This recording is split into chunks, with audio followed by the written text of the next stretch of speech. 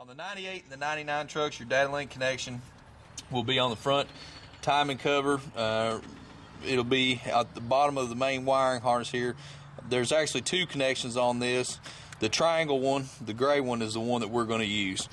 There'll be a dummy plug if nobody's tampered with it before. There'll be a dummy plug on it.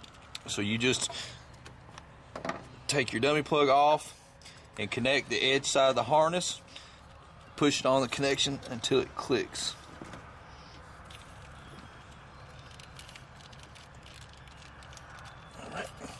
There's your data link installed.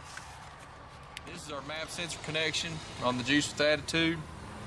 The map sensor on a 98 to 02 Dodge is just about in the same place. It's right behind the fuel filter. Our fuel filter is removed here. It's right behind the fuel filter on the. It's it's uh it's uh, made into the head of the of the engine here. Just disconnect it. Hook the male side of the edge harness into the sensor. Then the female side back to your stock wiring harness.